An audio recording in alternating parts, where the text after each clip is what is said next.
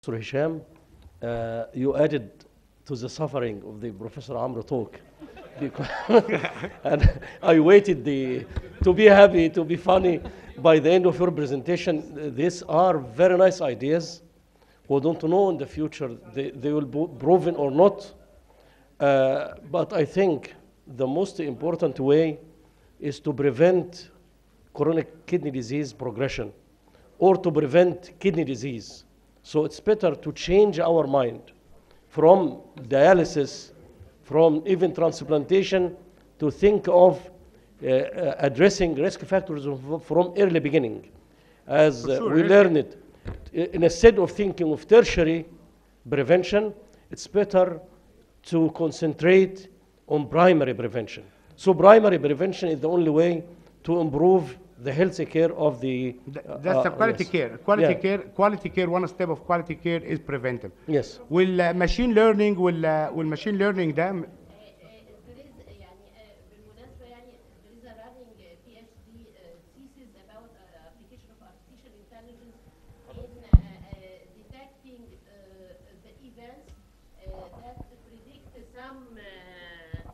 some uh, complications. For example, the uh, the hypotension, which is a very quite common. So- So we are feeding الكلاسيفاير يعني حاجه كده مع كليه الهندسه كلاسيفاير because our patients are unique يعني و- وعيانينك اجين unique يا ف- دكتوره هاله بعد اذن حضرتك اجين ده بياد للسفرنج اللي الدكتور عمرو كان بيتكلم عليه we know a lot about prediction but we don't have solutions we started artificial. Will improve art prediction, improve the mortality. Uh, I, I, know because of the time, because of the time we started. We, we, we will have the discussion after the session. Actually, yeah. any any any way we have to play on all fronts.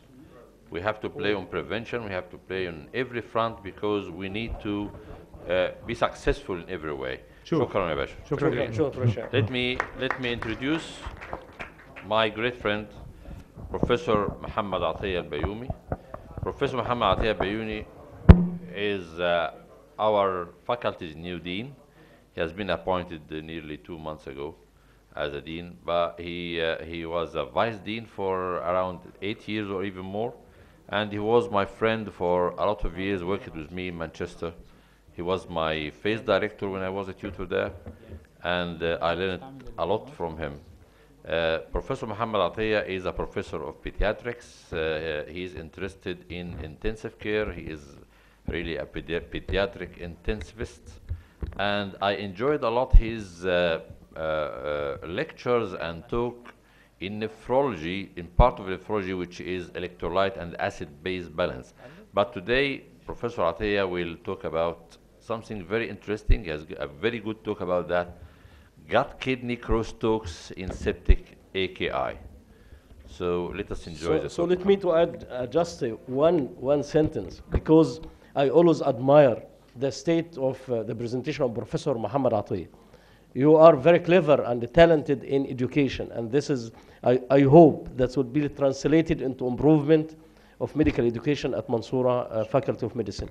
And today, this, this is a very critical issue, which is the gut and the kidney, gut microbiome because since antiquity, Hippocrates mentioned that death sits in the colon.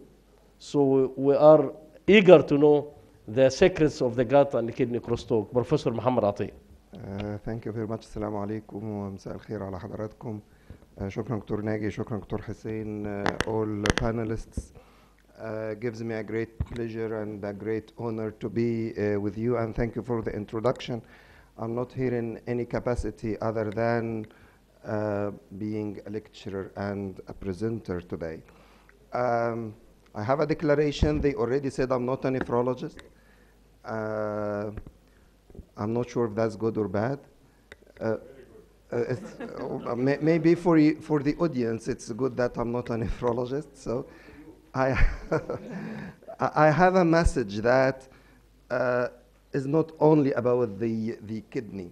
Since the early 1950s, uh, the concept of organ cross-talking have actually uh, come under light when uh, they started to find that there are some radiological abnormalities in the lung x-ray of those with a chronic kidney disease. the pulmonary dysfunction uh, was thought of initially as congested capillaries leaking and there is increased permeability and they called it auremic uh, lung. However, that wasn't really true because even in the acute settings, the kidney can trigger remote organ injuries. So it's not only about the kidney, but when the kidney is injured, other organs can uh, suffer. I'll show you some examples before I focus on the gut kidney uh, crosstalk. But as an intensivist, uh, I know that it is a very bad combination to have an acute lung injury and an acute kidney injury in the same uh, settings. This uh, diagram will explain that the, the lung injury and the kidney injury go in circles. If it starts with acute kidney injury, the kidney, um, I cannot use the pointer, but the, the kidney will release some mediators causing oxidative stress, cytokines, chemokines, uremic toxins, which will go and affect the fluid pressures in uh, the lung, alveolar cell apoptosis, and regulate sodium and water channels, causing lung injury. The lung wouldn't stop there. The lung will continue the uh, circle, causing even more acute kidney uh, injury by reduced uh, perfusion and by blood gas uh, disturbances. So organs like to talk to each other, and actually is not as organs talk to each other, we understand organs in a wrong way. It's one body, different systems of the same machine. They are not separate organs. We like to separate them for the sake of specialty, for the sake of everything, but we, we are one organism actually. Some uh, publications about renohepatic crosstalk, you know about that more than me. Brain kidney uh, cross uh, talk. I'm not going through details of that. Lung kidney crosstalk looks like the kidney likes to talk a lot. The kidney is in the center of all the, uh, the talks. As an intensivist, I rarely see an isolated case of an acute kidney injury. It usually happens within other clinical settings of shock, of sepsis, of ischemia, of organ transplant, or in a post-operative uh, scenario. However, acute kidney injury that I see is almost always caused by uh, sepsis. Even if the number here says that only 70% of them is related to sepsis, what I see in my unit is almost totally due to uh, sepsis and is almost always associated with other distant organ uh, dysfunction uh, up to 80% of, uh, of the cases. I'm not going through the details, but when it comes to the gut, the gut is the largest immune system of the body. It's by definition is the largest immune system of the body in the Peyer's patch, in the mesenteric lymph node, in the gut associated lymphoid uh, tissue. One of the very important organs of our bodies is the bacteria that we carry around. We have more than 1,000 species of living bacteria uh, within, and the number of bacterial cells are 10 times the number of human cells. We, we, while we're going around, the cells in our bodies are mainly composed of, uh, of bacteria, and actually, for every single human gene we carry, we carry 100 bacterial genes. So there was a lot of cartoons going around on the internet uh, saying that we're actually bacteria infested by some human uh, DNA. Uh, It's, it's, one, uh, it's one to 100. Is there a relation between the GIT and the sepsis? The answer is yes. And there is a big, big yes. Because as we carry those, uh, what we call the commensals, The commensals are harmless as long as they stay within where they live. But if the sepsis causes inflammation and hypoperfusion, and those will uh, affect the GIT, and the bacteria of the GIT will start to translocate and to find its way into the systemic circulation, this will cause a secondary bacterial uh, infection. Let us go to our subject of the gut-kidney uh, crosstalk. Crosstalk means it's bidirectional, so when, when the gut is unwell, the kidney will suffer, and vice versa. When the kidney is affected, the gut will suffer. Let us start with the effect of the septic AKI on the GIT. Wh- When the disease is, is in the kidney, will the GIT suffer? The answer is yes. And by the mechanisms that you can see, there is an impaired barrier function, gut wall edema, uremic uh, toxins, and dysregulation of the gut stem cell uh, proliferation. On the left hand side is an electron microscope for, I cannot use it. These are two uh, adjacent epithelial cells. Can you see the junction in between? I'm trying to walk along. Can you see that? A very little cleft in between those two cells. And actually, if you look, if you look carefully, that part here, just, just under the alveoli, is very different from a middle part here, and is very different from a deeper part here. And this is beautifully illustrated on the right-hand side. So there are three pieces of tight junction in between gut epithelial cells. The zona occludens, the cadherins, and the desmosome. I'm, I'm really sorry. I is it clear on the, on the graph? Okay. When the kidney suffers an acute uh, septic injury, the cytokines released will impair those barrier function, and the tight junction in between the cells will not be any tight anymore. So there is what we call the bacterial translocation. The bacteria will find its way to the circulation, and it causes more uh, inflammatory response uh, syndrome. The urea will find its way from the blood to the gut. You, we, we always think the urea, u- urea will stay in the blood. No. When the barrier function is impaired, the urea will travel to the, uh, to the gut lumen and will be metabolized into a caustic substance, which is ammonia hydroxide. Ammonia hydroxide will burn the tight junction even more. So do not be surprised. I'm not sure if you see uh, your uremic patients, your stable uremic patients having a lot of GI uh, problems. I'm, I'm sure they do. Uh, th- think about something like, like that. That's again explaining uh, the junctions that whether the cytokines, the gut wall edema, or the urea, they will eventually cause dehiscence and increase the permeability and the translocation of bacteria and of bacterial toxins uh, as well.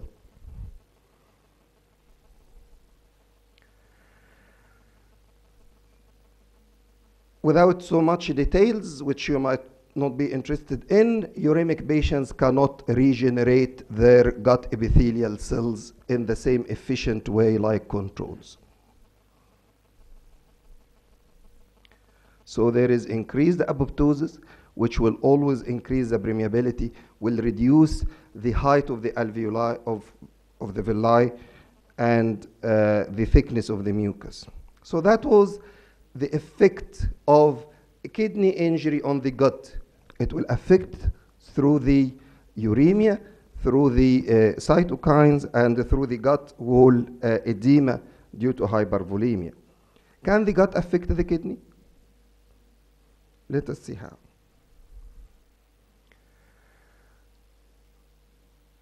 I'm sure very soon the, the, the microbiome will be described as an organ. Will, will, they will classify it as an organ very soon. But let us see what the microbiome uh, do to our kidneys.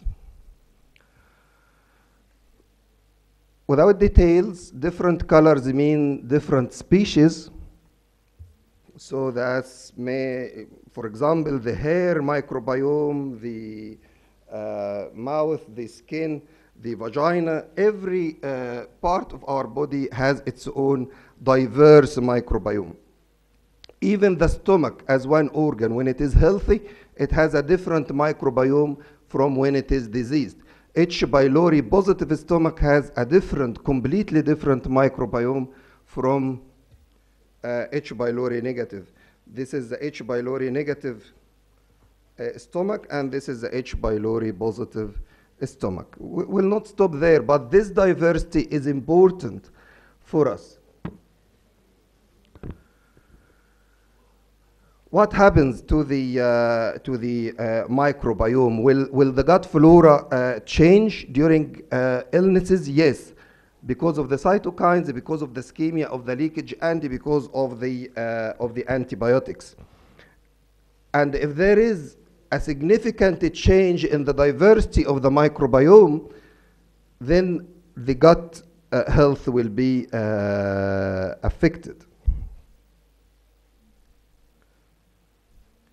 The microbiome itself can regulate the severity of inflammation through an action on uh, toll-like uh, receptors. Not going through that. I, I hate to explain that figure. It's, it's quite uh, complex. But let us say there is a battle between commensals, which are the good bacteria here. Here, that's how they look and between the bad bacteria or the pathogens, and that's how they look. The simplest way of competing is competing for food. So when the commensals are larger, they can compete uh, for food. They deprive uh, the pathogenic bacteria from the food for the virulence uh, factor. They ferment short chain fatty acids.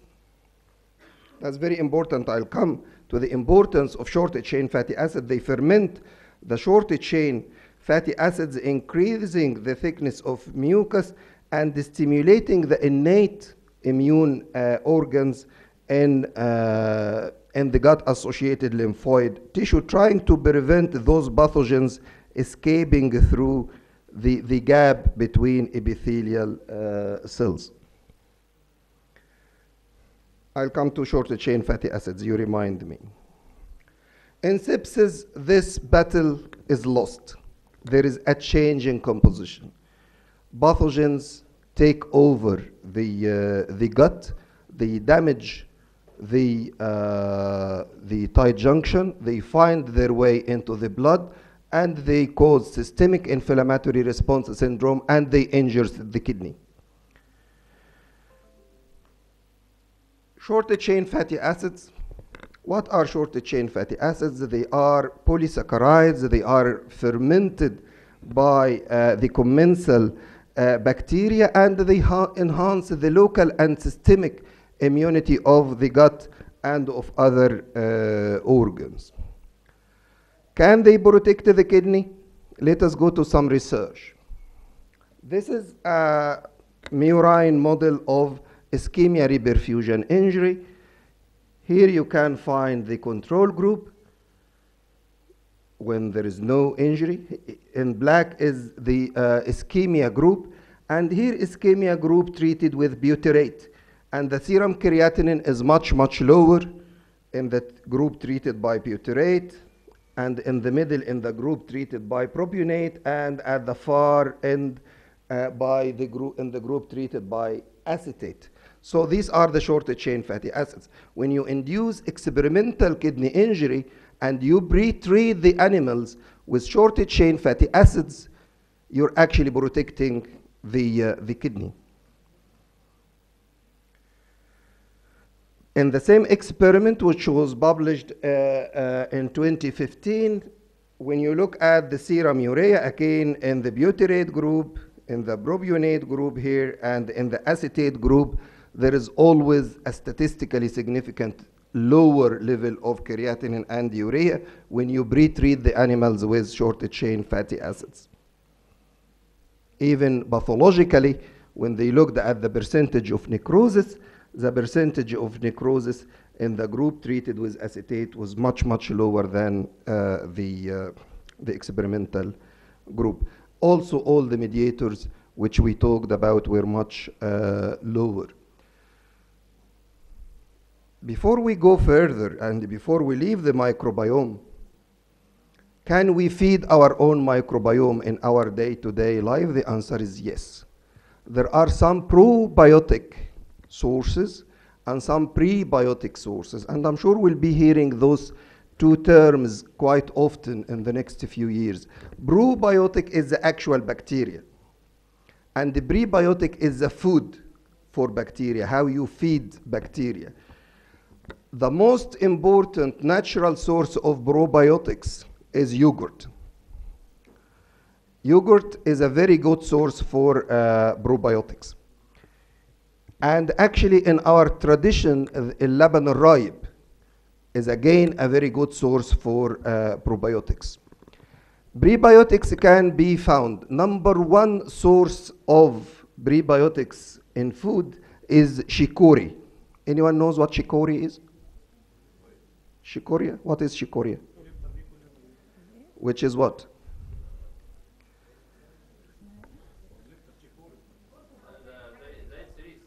Sh- Shikori is a cerise. Shikori, shikori is a cerise. السريس is something like الفجل والجرجير بالظبط يعني Okay. If, if you don't know Shikuri and Sris, then you must know uh, el kurrat, the leeks, onions. Onions are okay. Garlic is okay. Uh, the wheat bran is a very good source for uh, prebiotics. So uh, I'm actually thinking about that farmer on, on the farm 50, 60 years ago with رغيف عيش قمح بالردة ويفش بصلة وعودين سريس. السيريز ده معقد يا جماعة بتوع القاهرة. وشوية لبن رايب. شيكوري طيب. طب الكورن فليكس لا So uh, corn flakes again is okay. If it is a brand corn flakes. it's okay. So uh, we have around uh, how we can feed our own uh, microbiome and how we can treat our own microbiome. Abuse and overuse of antibiotics is not friendly at all for our microbiome, and I'll show you. This is a bit of an advanced part, go far from series that we, we have two types of our gut macrophages. We have a pro-inflammatory macrophage which is M1 and an anti-inflammatory macrophages which is an M2. So there are some very early uh, experimental trials. Uh, uh, I am I'm done. So there are some very primitive trials on enhancing. That was published in August 2018 on the role of M2 macrophages if we can stimulate them to prevent the lung, the, uh, the kidney uh, injuries. So there are some therapeutic targets. If we can take the live microbiota, if we can take the prebiotics, which are the necessary ingredients, if we can uh, use shorter chain fatty acids, which are propionate, acetate, and butyrate, or if we can selectively decontaminate the gut. Can we take the bad bacteria away from the gut? The answer is yes. C- Can I have a couple of more minutes or should I go through? Okay, thank you.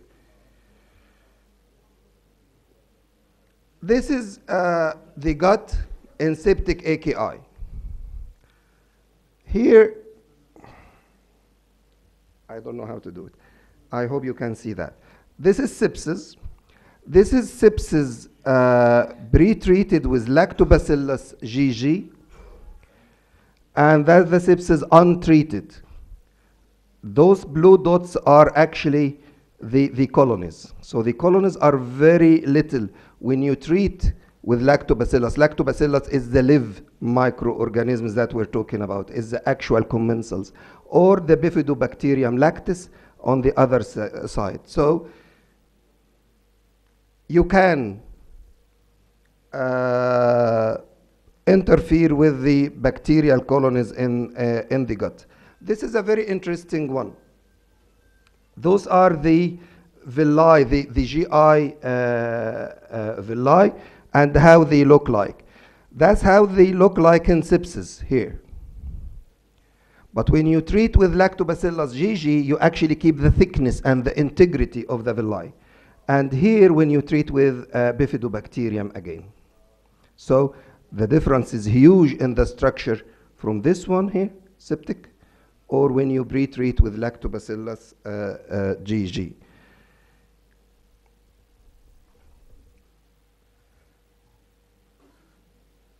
When you talk about decontaminating the gut, some people will ask, you're killing everyone in the battleground, isn't it? So you, you're going to decontaminate the gut. You've been talking for half an hour about the useful commensals, but you're going to kill the useful commensals as well. The answer is no. In the acute settings, you can decontaminate the gut safely. Why? Because actually, the gut flora will vanish in the acute setting before you interfere.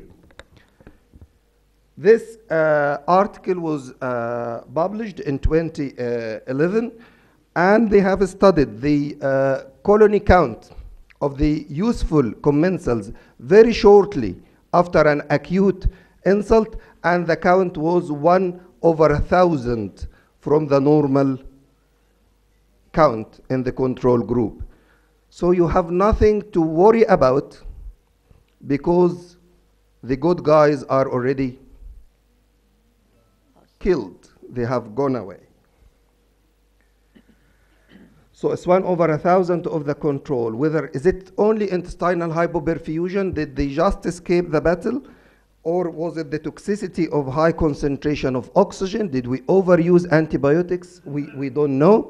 But anyway, those good guys have uh, gone. So there are some research is going out about selectively decontaminating uh, the gut by using uh, oropharyngeal antibiotics and antiseptics, and will that affect other organ damage or not? We had our own uh, trial in, uh, in Mansoura, that's the MD thesis of one of my students, when we actually started to contaminate the gut in every patient in a randomized controlled uh, manner. Group A didn't receive any decontamination. Group B received gut decontamination. Group C received gut decontamination plus a nebulized antibiotic. We, we had a different purpose of the research, but we had very interesting results.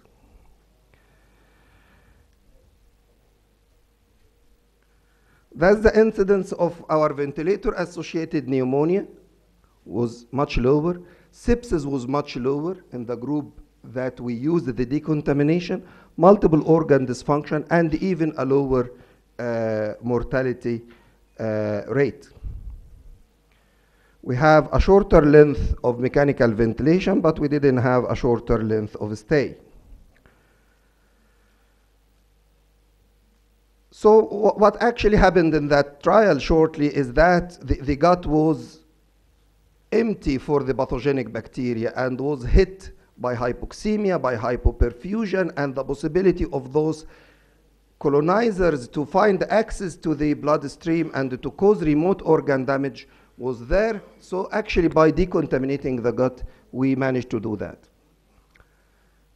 So are there some uh, therapeutic interventions? Yes, there is evidence for probiotic. I've shown you uh, the effect of using the lactobacillus GG and the bifidobacterium. There is supplementation with sor- shorter chain fatty acids, propionate and acetate, evidence for selective decontamination of the digestive tract, and very preliminary evidence for M2 uh, macrophages uh, maneuver.